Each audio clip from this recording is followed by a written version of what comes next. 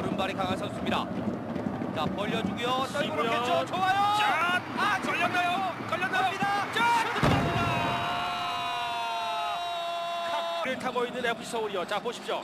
한동원 선수가 볼의 속도를 떨어뜨려서 지금 시무현 선수에게 도달이 됐고 여기에서 지금 보십시오. 각태희 선수가 돌아나오면서 아 결정을 내면 첫 골의 주인공이 됐어요. 첫 골의 사나이가 됐습니다. 글쎄요. 각태희 선수의 득점은 그렇게 많지 않은 그런 선수인데 통산 아, 두 골밖에 없어요. 그렇습니다.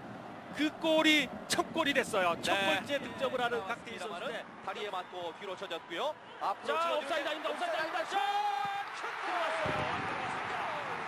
이후에 리턴된 볼에 대해서 뒤로 돌아나가는 상대 선수를 보지 못했거든요.